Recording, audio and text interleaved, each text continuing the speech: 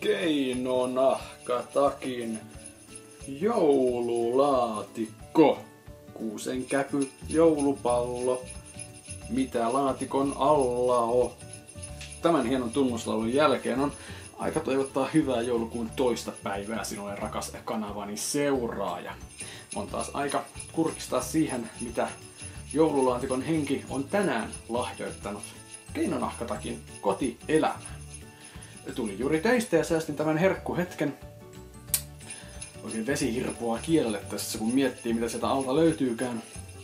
On säästänyt se tähän hetkeen ja aamulla viittin avata, jos tulee jotain alkoholipitoista. Joten eiköhän me pojat olla valmiita katsomaan, mitä on keinonahkatakin joululaatikossa tänään. Hieman jännittää. Kurkataanpas alle nyt. Mitä helvettiä. Pirkka olutta saatana. Tää on kyllä pikkusen floppi nyt tämä. No kyllä mä saatana sen juon, mutta ne on...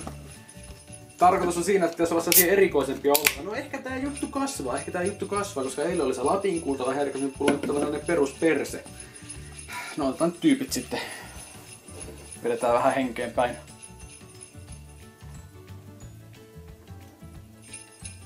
Joo, no kylmää laageria. Mikäs siinä? Kauppalaageriksi ihan passelia. Oikein jees. Kyllä mä nyt, joo, kiitos joulun henki. Keinonahkatakki arvostaa tällaista elettä sinulta. Eli sellainen löytyi nyt toisesta luukusta. Se saa nyt olla ruokajuomana sen jälkeen vittu on unet vaikka kello on vaikka mitä. No ei se ole ehkä ole. Saatana. Paskapäivä töissä, mutta hyvä ilta tulossa. Palataan huomenna keinonahkatakin joululaatikon pariin.